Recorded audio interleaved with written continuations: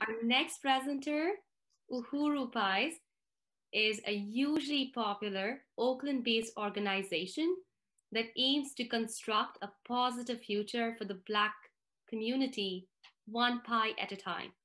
Welcome, Bakari. Uhuru. Uhuru means freedom in the African language of Swahili. Uhuru Foods and Pies has become a holiday tradition in the Bay Area for several decades. I'm sure some of you have eaten our pies.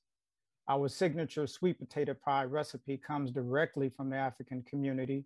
We haven't changed that recipe in 27 years, and if it ain't broke, don't fix it. As a free and independent people who were enslaved and colonized, we brought food technology with us from Africa. Food is a great connector in re-achieving self-determination. Next slide.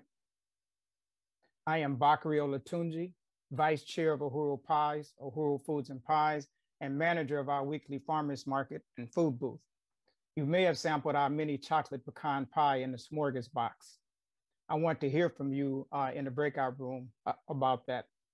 I am not an owner. I am definitely not a baker.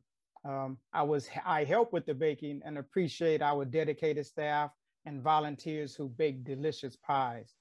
I am an organizer. I grew up in Oakland, attending junior high school during the Black Power movement of the 60s. I was influenced at a young age to understand that self-determination of African people is needed. Today in 2021, the average white family has 22 times the assets of Black families. For me, this is unacceptable. We must build our own capacity to be a self-sustaining people. That's what Uhuru Pies is about. Next slide. Uhuru Pies has made leaps in developing our self-sustaining economic model through years, uh, through year-round markets, uh, pop-ups, partnerships, and collaborations, and of course, our holiday pie sales. In 1987, Uhuru Bakery and Cafe was located on 40th and Telegraph in North Oakland and was very popular. Now we are building in North St. Louis too. Next slide. We have taken a step towards a qualitative leap forward.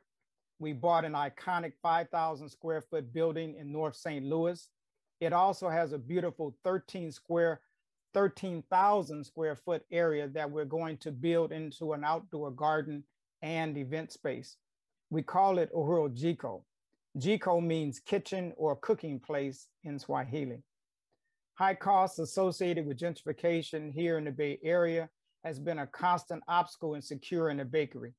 The bakery we couldn't get in Oakland, we got in St. Louis. World-renowned bakery designer Michael Suis, who designed all of Panera's systems and will be working with us with our systems when it gets built, and a St. Louis local Black architect are designing our plans.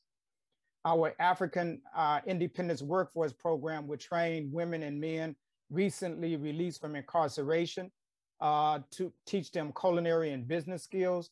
We actually have apartments where they can live during the program. We've raised over $80,000 to purchase the building and pay for the plans. This is only one part of the Black Power Blueprint.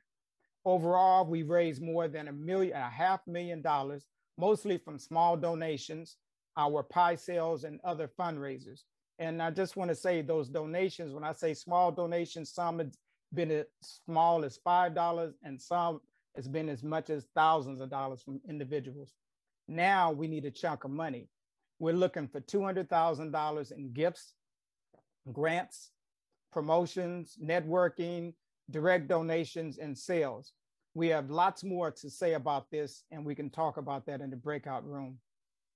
Next slide. Finally, we want to show you the Oakland Uhuru Pies team that baked a thousand sweet potato pies for Christmas with the Curries. In December, Stephen Curry and his family gave food and gifts to a thousand families in Oakland. We plan to produce a thousand more pies in most days in St. Louis. Uhuru. Thank you, Bakari. This is such an inspiring vision and presentation. Thank you.